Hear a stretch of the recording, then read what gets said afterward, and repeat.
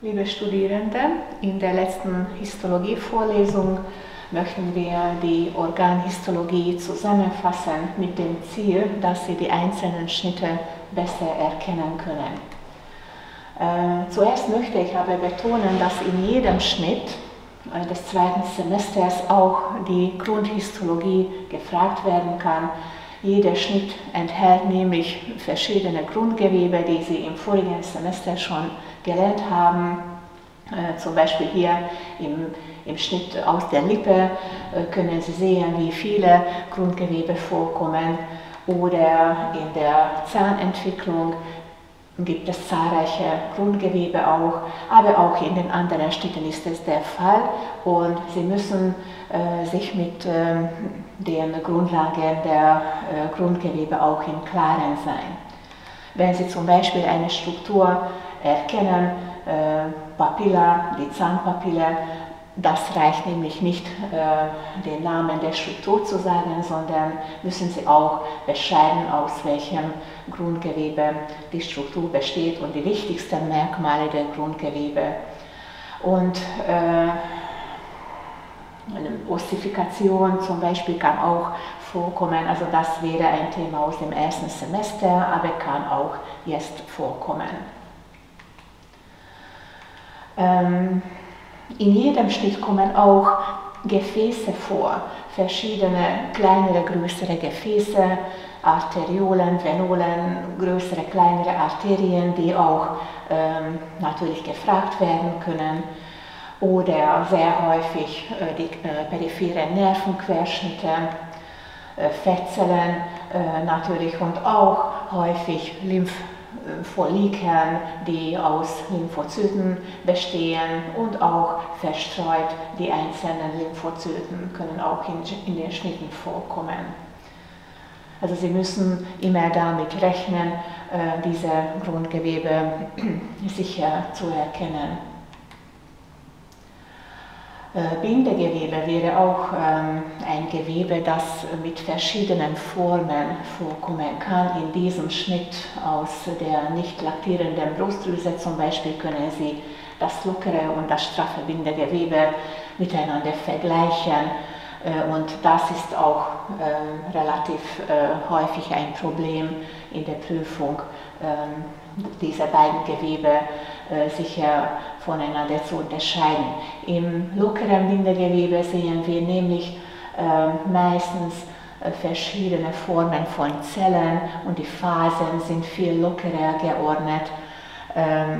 Hier kann man allerdings auch zahlreiche faserreiche Formen voneinander unterscheiden, aber praktisch gibt es viel, viel weniger Phasen als ähm, zum Beispiel im straffen Bindegewebe, wo wir dicht gepackte Faserbündeln sehen, die stark eosinophil sich anfärben lassen und äh, zwischen den Faserbündeln sehen wir die Kerne der Fibrozyten. Also hier gibt es nicht so viele Zellformen. Ähm, bei der Erkennung der Schnitte müssen Sie zuerst nach einer sogenannten Hauptattraktion suchen, ob sowas im Schnitt vorkommt oder nicht. Und wenn Sie sowas finden, dann erleichtert, dann erleichtert das äh, die Erkennung. Wenn Sie zum Beispiel äh, dieses Schmerzorgan im Schnitt sehen, dann können Sie schon die Zahnentwicklung äh, leicht erkennen. Und ich habe noch hier weitere Beispiele für solche Schnitte äh, aufgelistet. Äh, wenn das nicht der Fall ist, dann, dann lohnt es sich nach, nach einem Oberflächenepithel zu suchen. Und wenn Sie ein Oberflächenepithel sehen, dann geht es äh, um ein sogenanntes Rohrorgan mit äh, Wandschichten und ähm, das kann man dann, dann hilft das bei der Zuordnung sehr viel. Ähm, bei Verdauungstrakt zum Beispiel können Sie diese Wandschichten sehr gut voneinander unterscheiden und das Epithel hilft auch sehr viel. Also die verschiedenen Organsysteme sind meistens mit typischen Epithelien ausgekleidet. Die männlichen Genitalwege zum Beispiel mit mehrreihigem Zylinderepithel mit Stereozilien oder Atemwege mit respiratorischem Epithel. Wenn Sie aber kein Epithel sehen, dann geht es äh, wahrscheinlich um ein Parenchymorgan. Parenchymorgane sind solche Organe, äh, wo wir organspezifische Zellen in einem bindegewebigen Gerüst eingelagert äh, sehen. Äh, Niere, Leber, die verschiedenen Drüsen sind gute Beispiele dafür oder die lymphatischen Organe. Ähm, wie äh, können Sie weitergehen, wenn Sie zum Beispiel ein Rohrorgan haben oder ein Epithel, eine Epithelfläche sehen? Dann hilft natürlich die Klassifizierung des Epithelgewebes, einschichtiges, mehrschichtiges Epithel äh, kann das Epithel sein. Und bei, bei den einschichtigen Epithelien ähm, nach der Form der Zellen gibt es natürlich auch mehrere Formen und bei den hochprismatischen die zwei Gruppen, äh, einreihige, mehrreihige Epithel, äh, Epithelien. Und hier hilft wieder, dass äh, die Organsysteme dann mit äh, typischen Epithelien ausgekleidet werden. Äh, bei den weiblichen Genitalien werden Sie zusätzlich noch Kinozilien finden, im Darmtrakt Mikrovilli und das sezernierende Epithel ist ähm, für Magen, Cervix oder Samenbläschen typisch. Diese, die Mehrreihigen können ebenfalls verschiedene Oberflächendifferenzierungen haben, die dann die Erkennung weiterhelfen. Und bei mehrschichtigen Epithelien gibt es auch mehrere äh, Möglichkeiten, Plattenepithelien mit äh, unverhornten und verhornten äh, Form oder Urothel oder das mehrschicht, mehrschichtige hochprismatische Epithel. Und ich habe Beispiele aufgelistet äh, für Strukturen, die mit solchen Epithelien ausgekleidet äh, werden. Und äh, sehr häufig sehen wir auch Übergänge in, in den Schnitten, äh, Epithelübergänge. Und da muss man an Körperöffnungen immer denken, wo die häufigsten, äh, wo die Epithelübergänge am häufigsten vorkommen. Äh, schauen wir uns einige Beispiele an. Also bei, wenn Sie im Schnitt ein unverhorntes Plattenepithel sehen und dann außerdem noch Skelettmuskel im Schnitt sehen, dann kommt eigentlich die Mundhöhle in Frage, Zungenschnitte. Äh, die verschiedenen äh, Zungenschnitte können Sie auch so voneinander unterscheiden, was für Papillen Sie in den Schnitten sehen, ob Sie Geschmacksknospen in der Wand der Papillen sehen oder äh, bei Tonsilla linkwise, also wenn der Schnitt aus dem hinteren Bereich der Zunge ist, dann äh, sehen Sie auch die aggregierten Lymphfollikel im Schnitt. Und hier äh, kann ein weiteres Problem noch sein, die verschiedenen Tonsillen voneinander zu unterscheiden. Hier äh, helfen die hier äh, aufgelisteten Merkmale. Wenn aber das unverhornte Plattenepithel mit glatter Muskulatur kombiniert ist, dann äh, kommt entweder die Speiseröhre oder die Vagina noch in Frage. Ähm, bei der Speiseröhre sieht man sehr gut immer die verschiedenen Wandschichten, die man in der Vagina nicht so richtig sieht. Und äh, weitere Hilfe ist, dass das Epithel der Vagina besonders hell erscheint und äh, keine Drüsen äh, im Schnitt äh, vorkommen. Dann, wenn Sie Urothel sehen, das ist das Epithel für die Harnwege. Und wo kommen Harnwege vor? Auch im Nierenschnitt, in, der, in den Kelchen, in den Nierenkelchen oder im Ureterschnitt, Harnblasenschnitt und auch im, im Prostata-Schnitt wo ähm, dann das Urothel aber in das ähm, mehrschichtige, hochprismatische Epithel übergeht. Wir sehen in den Prüfungen häufig, dass ähm, diese beiden Schnitte, die Harnblase und ähm, die Speiseröhre ähm, verwechselt werden. Äh, es liegt wahrscheinlich darin, dass ähm, im Speiseröhrenschnitt häufig wir äh, häufig die Schnittebene tangential, tangential ist und deshalb die ähm, Zellkerne der Plattenepithelzellen in der oberflächlichsten Schicht rund erscheinen.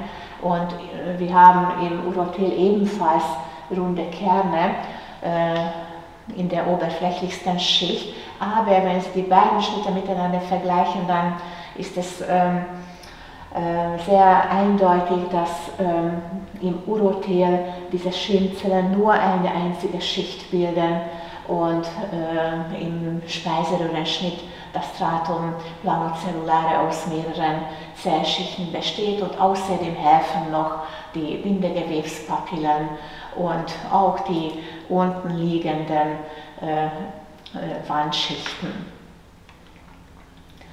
Ja, es gibt kleine runde Schnitte, die äh, miteinander vielleicht verwechselt werden können. Bei Ureter zum Beispiel sehen wir aber typisch das Urothel, äh, bei Appendix sehen wir die aggregierten Lymphfollikel in der Schleimhaut und auch in der Submucosa.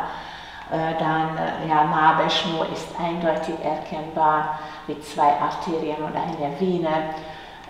Und es können auch Schnitte aus der Speiseröhre vorkommen, die Querschnitte sind, aber die Speiseröhre ist wesentlich größer im Durchmesser als zum Beispiel Ureter oder Appendix. Also das sollte eigentlich kein Problem sein, diese Schnitte miteinander, also voneinander zu unterscheiden.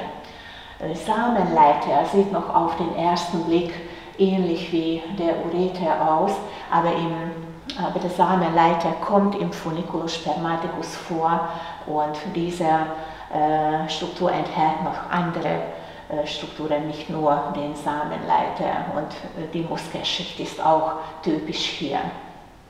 Ja, also nicht nur das Epithel kann helfen, sondern äh, die Muskelschicht. Dort ähm, sind die Muskelzellen äh, je nach Organsystem unterschiedlich äh, gelagert. Bei Ureter gibt es immer außen die Ringsmuskelschicht und innen die Längsmuskelschicht und bei Samenleiter gibt es drei Schichten, äh, innen, außen äh, verlaufende Muskelzellen in Längsrichtung und äh, in der Mitte zirkulär. Epithelübergänge kommen sehr häufig vor, in der Lippe, also wie gesagt an den Körperöffnungen, äh, Lippe, Rektum oder auch, ähm, wenn wir im Verdauungstrakt tiefer äh, gehen, dann im Kardiabereich oder auch äh, im Cervixbereich. Ja? Uretra ist auch ein ein, ein relativ, eine relativ lange Struktur und äh, weist auch Epithelübergänge auf.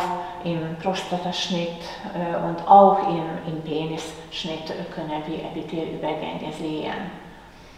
Hier kann der Übergang sehr scharf sein, wie zum Beispiel im Kardiaschnitt. Äh, in, in der Prostata oder im Penis ist der Übergang nicht immer so äh, scharf sichtbar. Magen-Darm-Trakt. Wir haben zahlreiche, zahlreiche Schnitte aus dem Magen-Darm-Trakt und damals haben wir darüber gesprochen, wie man diese Schnitte voneinander unterscheiden kann. Äh, sehr wichtig ist also nochmal, dass hier wir sehr schön die einzelnen Schichten äh, voneinander unterscheiden können. Oder äh, es gibt nur hier eine Lamina muscularis mucose, das kann auch helfen.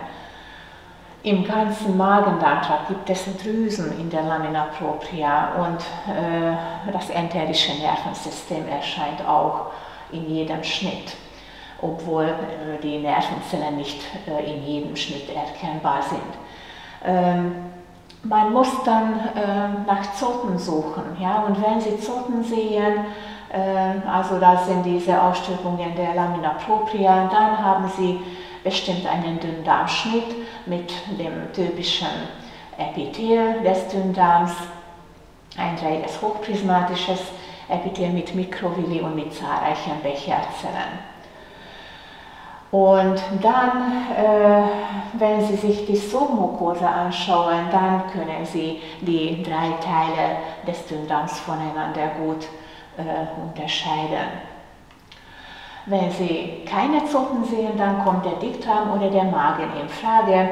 Dickdarm hat dasselbe Epithel wie Dünndarm im Magen, aber haben wir ein sezernierendes Oberflächenepithel und es fehlen sowohl die Mikrovilli als auch die Becherzellen.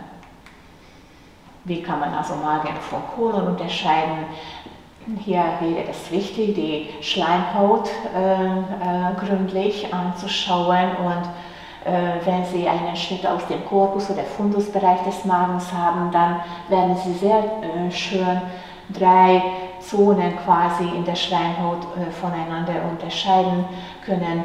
Äh, das liegt darin, dass im oberen Drittel die Foveole gastrici äh, in anderer Farbe erscheinen als die darunter liegenden Drüsen, die wiederum in zwei Zonen gegliedert werden können, weil unten äh, sie eher basal aussehen aufgrund der Hauptzellen und in der Mitte die Drüsen relativ weißlich äh, sind, also sich nicht so besonders gut anfärben, äh, die wegen der hier vorkommenden Nebenzellen.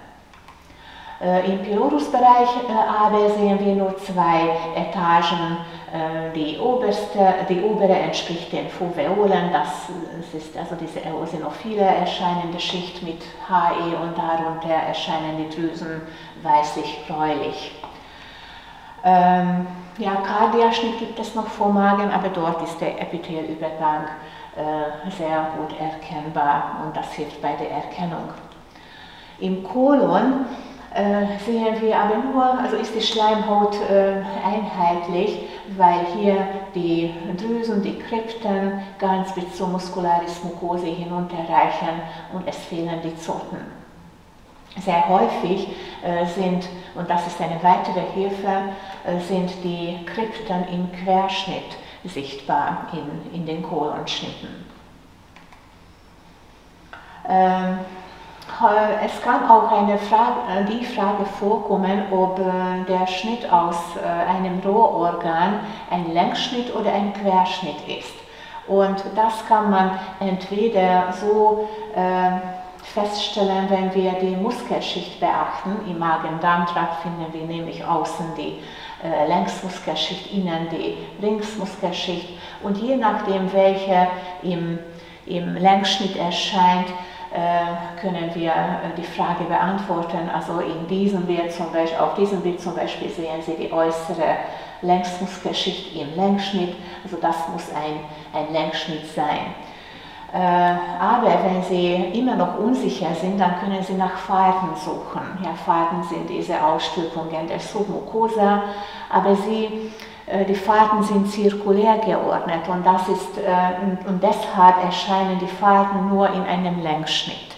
Wenn Sie einen Querschnitt haben, zum Beispiel auf diesem Bild ist das der Fall, dann werden Sie die Faden nicht sehen und die Muskelschicht erscheint auch umgekehrt.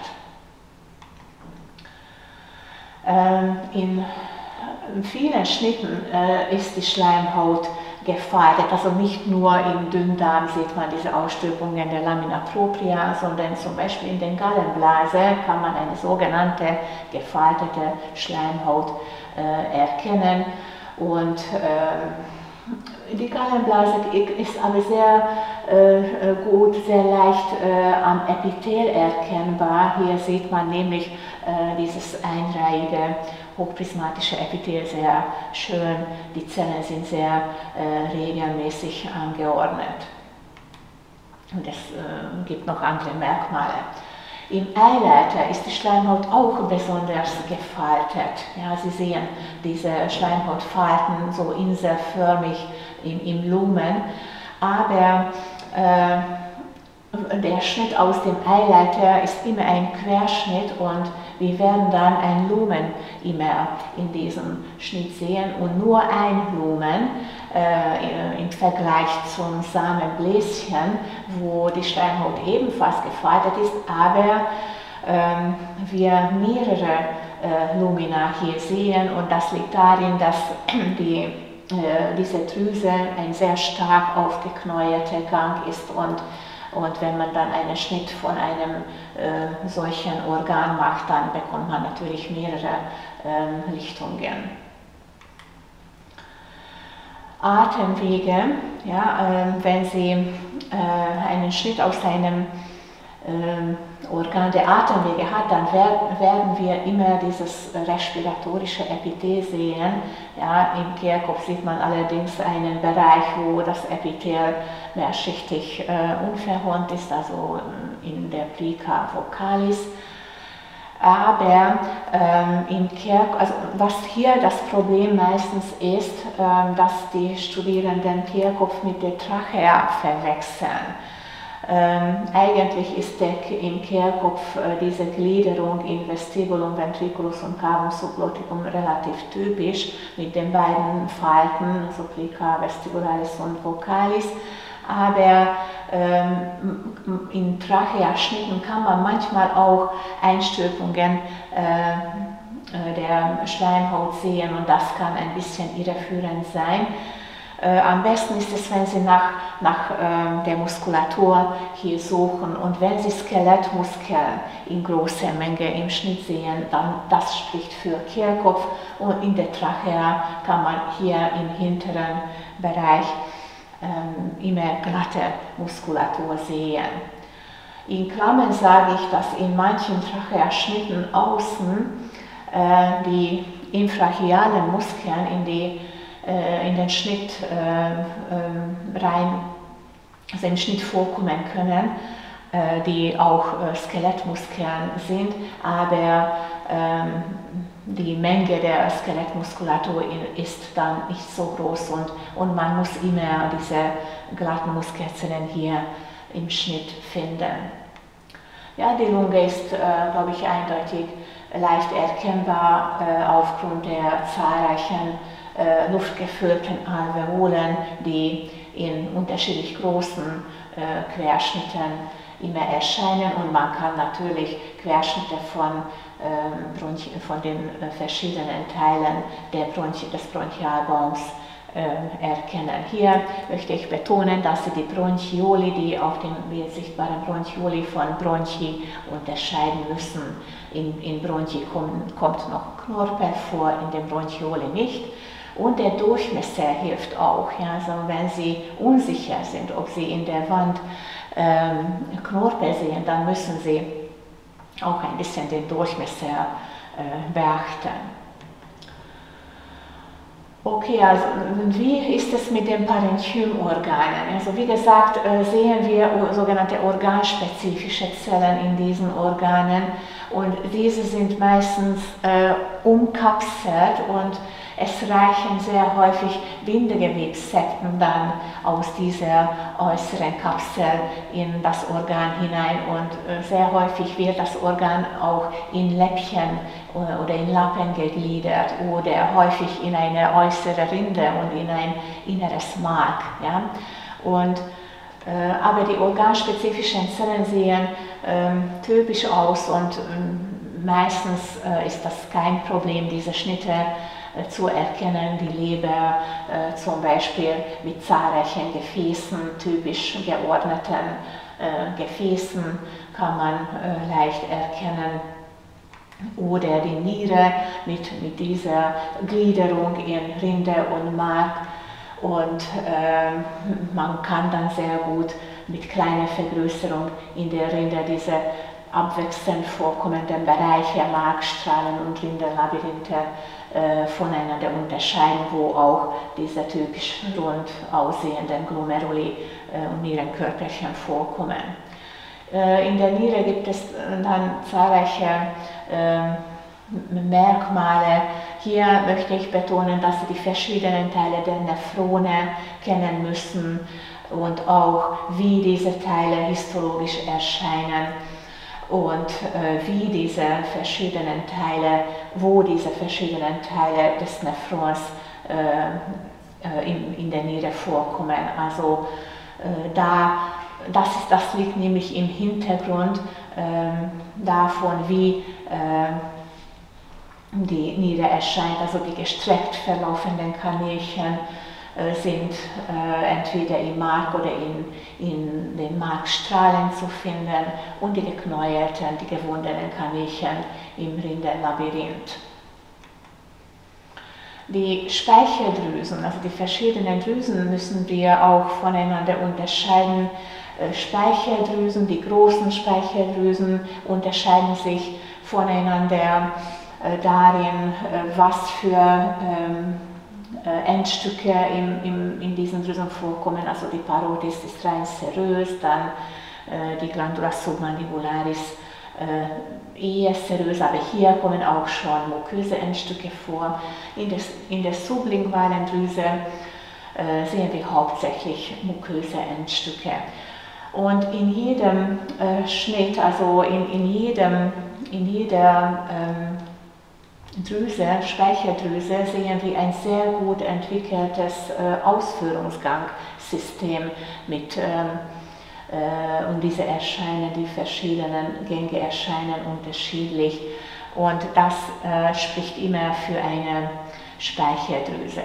Im Pankreas zum Beispiel, das ist auch eine Drüse, aber hier, wenn wir jetzt von den Langerhansinseln absehen, dann können wir auch in dem exokrinen Teil sehen, dass, der Aus, dass die Ausführungsgänge nicht so äh, zusammengesetzt sind. Also es fehlen zum Beispiel die Streifenstücke hier und es gibt noch andere Merkmale der Endstücke, die dabei helfen, Pankreas von einer Speicheldrüse, also von der Parotis, äh, zu unterscheiden.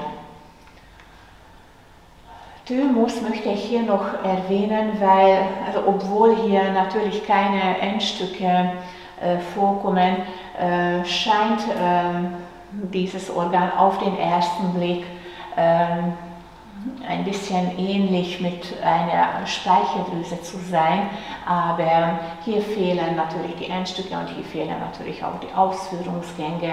Und mit stärkerer Vergrößerung kann man die äh, Lymphozyten und auch äh, diese Hassar-Körperchen gut erkennen.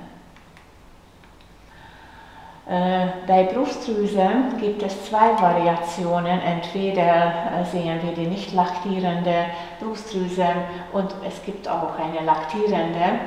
Und die Unterschiede sind, sind, sind sehr groß. Also in einer nicht laktierenden Drüse sehen wir nur rudimentäre Endstücke und Ausführungsgänge. Und der Schnitt ist äh, eher mit Fettgewebe, mit Bindegewebe äh, ausgeführt und äh, diese Endstücke und Gänge bilden nur kleine Inseln.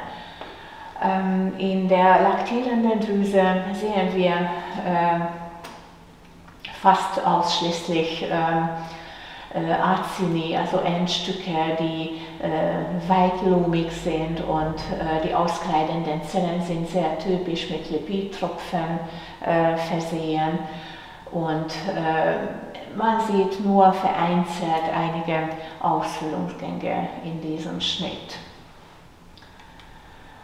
Ja, und diese laktierende Brustdrüse gehört auch zu den weitlumigen Drüsen. Und weitlumige Drüsen kann man noch in anderen Organen äh, erkennen. Äh, in diesem Semester äh, sind die Prostata und die Uterusschnitte typische Beispiele für weitlumige Drüsen. In beiden Organen sind diese Drüsen mit äh, glatten Muskelzellen kombiniert. In der Prostata äh, sind die Drüsen aber mit diesen glatten Muskelzellen auch ähm, verflochten. Also die Drüsen sind eingelagert in ein Stroma, das aus glatten Muskelzellen und straffem Bindegewebe besteht.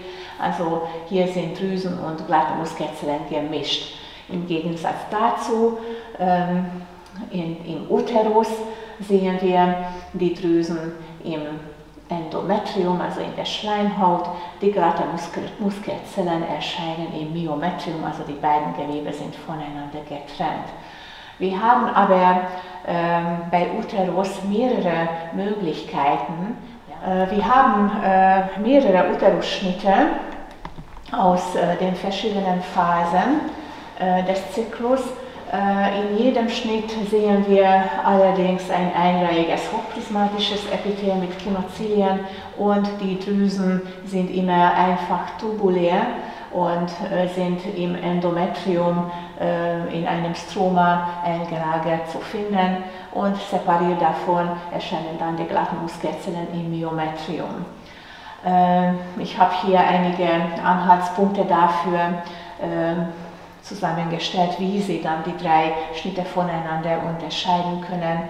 Äh, wichtig wäre hier, dass äh, nicht nur die Drüsen, sondern auch das Stroma äh, sich verändert und äh, im schwangeren Uterus kann man dann sehr gut dieses dicke Stratum compactum, also die Decilua, erkennen lymphatische Organe. Ja, in den lymphatischen Organen können wir Lympholiken äh, häufig sehen, aber nicht unbedingt. Es gibt auch äh, solche Organe, wo lymphatische Organe, wo wir keine Lympholiken sehen und das ist äh, Thymus. Und äh, bei Thymus kann man aber die, die Rinde und Mark äh, relativ gut erkennen und äh, wie früher schon erwähnt, mit stärkerer Vergrößerung die Hassar-Körperchen. Wenn wir Lympholiken sehen, dann kommt entweder der Lymphknoten oder Milz oder Tonsillen äh, in Frage. Äh, bei, Lymphol, äh, bei den Lymphknoten kann man immer eine schöne Bindegewebskapsel sehen und die Follikeln kommen immer in der Rinde vor, im Mark äh, aber nicht mehr. In der Milze sind äh, die Lymphfolliken verstreut in der roten Pulpa zu sehen. Also die Lymphfolliken mit dem Pars bilden die weiße Pulpa und sie sind so äh, verstreut in der roten Pulpa zu sehen. Und das ist auch sehr typisch, dass äh, die Zentralarteria äh, die Lympholiken durchsticht. Wie früher schon erwähnt, haben wir auch ähm, Tonsillenschnitte. Äh, in diesen Schnitten sind die Follikeln in der Schleimhaut eingelagert. Also bei Tonsillen werden wir immer ein Epithel, äh, ein Oberflächenepithel sehen und die verschiedenen äh, Tonsillen können wir voneinander so unterscheiden, wenn wir die darunterliegenden Schichten uns anschauen.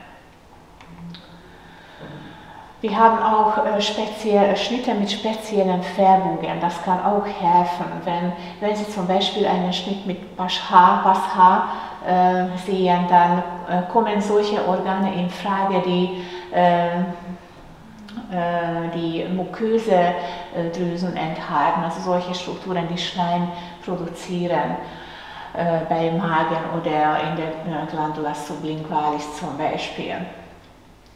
Wir haben auch Asan gefärbte Schnitte, meistens in solchen Fällen, wenn, wenn wir die epithelialen Strukturen von Bindegewebsstrukturen äh, unterscheiden möchten. Oder äh, mit Fuchsin sind ähm, äh, die Schliffpräparate angefärbt in diesem Semester, äh, der, Zahnschliff oder O10 äh, wird dann benutzt, wenn wir elastische Fasern äh, zeigen möchten in der Lunge. Von der Lunge haben wir in diesem Semester einen solchen, einen solchen Schnitt. NAD-pH-Diaphorase kann man für Nervengewebe benutzen. Und Versilberung äh, wird in diesem Semester äh, für, äh, in, in solchen Fällen äh, benutzt, wenn wir interzelluläre Spalten sichtbar machen können und die Gallenkapillaren zum Beispiel erscheinen sehr schön mit dieser Methode. Wir haben äh, von der Leber und äh, von der Niere äh, Schnitte, wo vor der Färbung die Gefäße mit Dusche aufgeführt äh, wurden und mit dieser Methode können wir die zahlreichen Gefäße sehr gut sichtbar machen. Das kann auch äh, vorkommen, dass aus einem Organ wir mehrere Schnitte äh, haben, das heißt ähm, aus mehreren Präparaten. Und äh, hier zum Beispiel von der Speiseröhre können wir auch einen Querschnitt haben oder äh, aus einem anderen Block äh, sehen Sie hier einen Längsschnitt oder von Duodenum. Bei Duodenum kann das auch der Fall sein oder im Iajunum, also beide sind Iajunum-Schnitte. Sie stammen allerdings aus unterschiedlichen Gewebeblöcken oder im Fall von Ileum. Ja, bei Ileum möchte ich das äh, hier noch betonen, dass diese Perleplaques ähm, nicht, nicht in jedem Schnitt so äh, schön dicht gepackt erscheinen. Wahrscheinlich ist dieser Schnitt kein menschliches Präparat.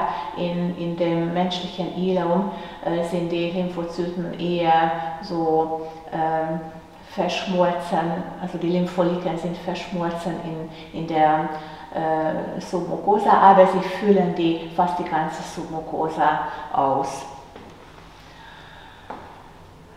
Ja, bei Ureter kann auch äh, ein solcher Schnitt äh, vorkommen, wo das Lumen äh, nicht so äh, sternförmig ist. Ja, und Plazenta kann auch entweder äh, aus dem Frühstadium sein oder aus Spätstadium.